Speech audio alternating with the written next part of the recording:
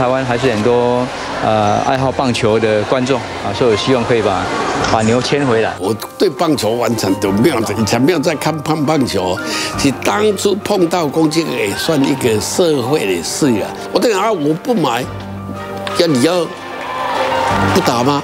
他说不打。我那假设没有给他买起来，四队少一队，阶段性我来做。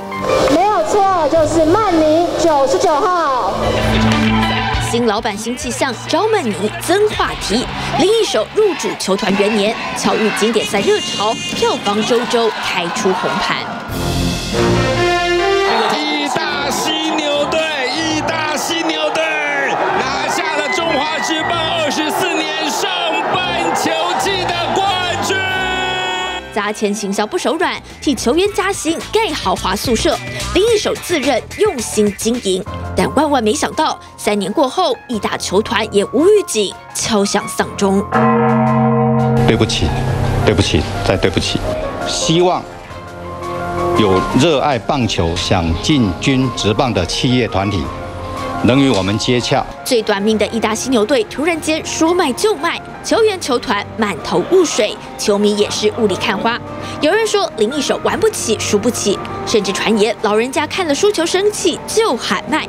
时至今日，经过两年，才独家对着镜头说出当年不可告人的抛售秘辛。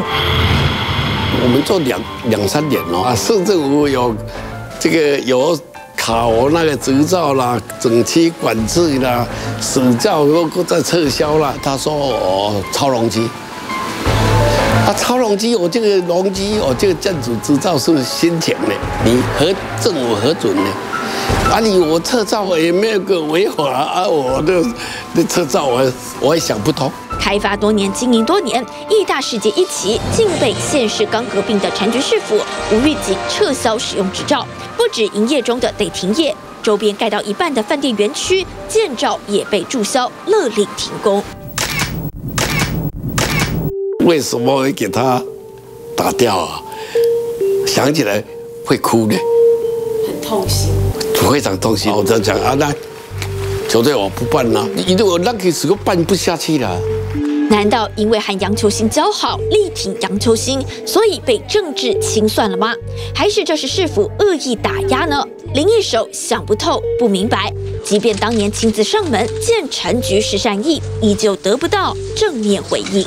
过去八年，天天哑巴吃黄连，不止义大世界遭撤照，送审的异想天地逼管建照，长达五年也迟迟没有下文。这回加大力度挺韩不避嫌，因为他年过古稀，早已看尽世态，唯独希望热爱的国家能重新站起来。